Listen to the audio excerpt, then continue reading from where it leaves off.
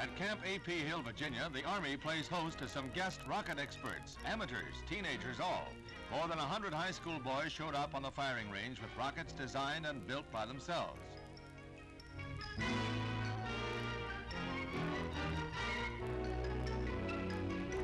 Today, nearly every high school in the country has an active rocket society, and the teenagers are almost as rocket-wise as the experts.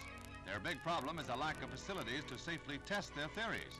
This is a banner day for a lucky few, a high point in the Army's national program of cooperation with the rocket engineers and scientists of tomorrow. Army specialists, headed by Lieutenant Colonel Parkin, supervise every step of the mass countdown.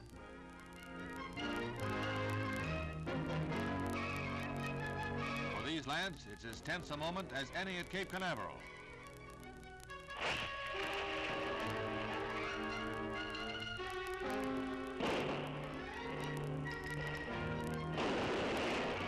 One rocket soared nearly a mile high. Most worked, some fizzled. But overall, the occasion proved that the next generation, future conquerors of space, is well on its way.